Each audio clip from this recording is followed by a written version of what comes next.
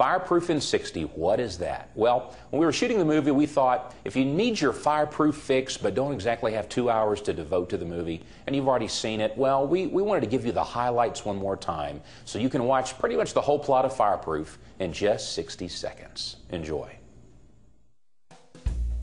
I see you left me no pizza. I want out. It's Rudolph? Caleb. I don't understand her. He's the problem, not me. We'll race you there. You're gonna hear a very loud noise. But Caleb, what about Catherine? I am not the problem. She is, Dad. Let's go for a walk. 40 days. 40 days. Poured your coffee. I don't have time for coffee. Mr. Rudolph? Caleb. It's not working, Dad. You can't give up yet. Don't love you. I'm in. I feel bad for my parents. So what do they need? A bed and a chair. It's all been paid for. Huh? You helped my parents. Buy me lunch. Watch out for parasites. Mr. Rudolph? Caleb. Gavin.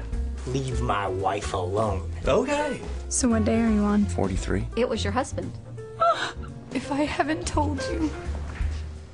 Caleb, you take her again? Yep. Catherine, you take him again? Yep. Praise God, let's eat.